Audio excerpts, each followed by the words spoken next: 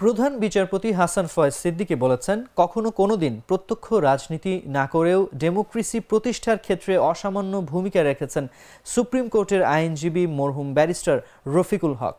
সোমবার supreme court আইনজীবী সমিতির শহীদ শফিউর রহমান মিলনায়তনে আদ্দিন ফাউন্ডেশনের আয়োজনে আইনজীবীর প্রয়াত রফিকুল হকের স্মরণে আলোচনা সভায় এমন মন্তব্য করেন প্রধান বিচারপতি হাসান ফয়েজ সিদ্দিকী। তিনি বলেন, প্রখর মেধাবী ও যোগ্য মানুষ ছিলেন ব্যারিস্টার রফিকুল হক। তিনি কখনোই আদালতকে বিভ্রান্ত করার চেষ্টা করেননি। আইনজীবী হিসেবে তিনি কিছু অপ্রত্যাশ অত্যাবশ্যকীয় নীতি মেনে চলতেন। তিনি কখনোই নীতি থেকে বিচ্যুত হননি। আমি সে কাজে সাথে আছি। আজ দিন আপনাদের সাথে